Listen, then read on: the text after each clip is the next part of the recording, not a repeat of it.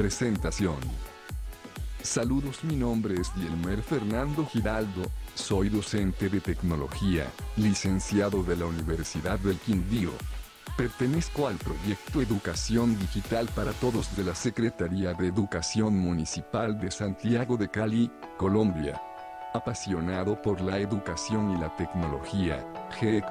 Habitante del ciberespacio y las redes sociales. En otras palabras, ciudadano digital. Me considero nómada del conocimiento y en beta permanente, investigador y científico del aula. Es muy significativo para mí poder compartir con ustedes. Algunos de mis temas preferidos son, las herramientas digitales, la pedagogía de la era digital, MOOCs, tecnología, aprendizaje por proyectos, curación de contenidos, conectivismo, serious games como creatividad, social learning, realidad aumentada, entre otros. Trataré en esta exposición de compartir algunos de mis aprendizajes en red. El educador del siglo XXI de transmisor a productor curador de contenidos. Quiero empezar hablando de la creatividad, una de las más importantes habilidades del siglo XXI. Le llegó la hora al hemisferio derecho, y estimular la creatividad de los niños es fundamental en una educación de calidad. Durante muchos años los docentes pensábamos mucho en transmitir contenidos a nuestros estudiantes. Y fue muy importante esa transmisión del conocimiento, pero los tiempos cambian y hoy con mayor velocidad. La formación que impartimos no es solo para el presente, también es para el futuro. La educación del siglo XXI es educación para la incertidumbre. Educar para la incertidumbre es preparar a las personas para enfrentar retos y problemas inesperados, fortaleciendo los procesos mentales, la lógica, el razonamiento, la creatividad, la imaginación, la toma de decisiones y la gestión de las emociones entre otros. Tiempos líquidos según Sigmund Bauman, 1925, tiempo actual, dice Sigmund atravesamos por una época de cambios muy rápidos a la cual él llama modernidad líquida. Era digital versus la era industrial.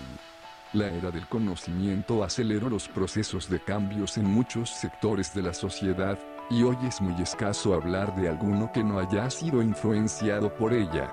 Algunos sectores todavía hoy tratan de resistirse al cambio, uno de ellos es la educación. La escuela industrial llamada 1.0 cumplió perfectamente con los objetivos propuestos para esa época. Pero seguir apegados a ella es condenar al fracaso a nuestros estudiantes.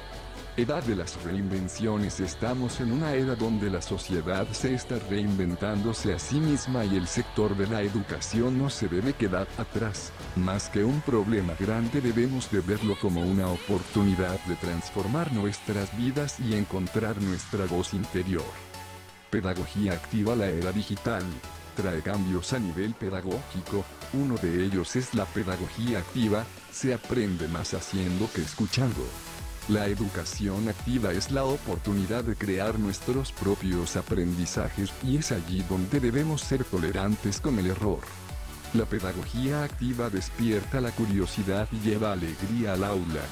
Educar para la felicidad Los docentes debemos de ayudar a los niños a encontrarse a sí mismos y a sentirse personas valiosas, más que ver las debilidades de ellos, debemos estimular sus fortalezas. Nacemos con la curiosidad de un genio y la escuela mata esa curiosidad, así nos lo cuenta Sir Ken Robinson en su libro.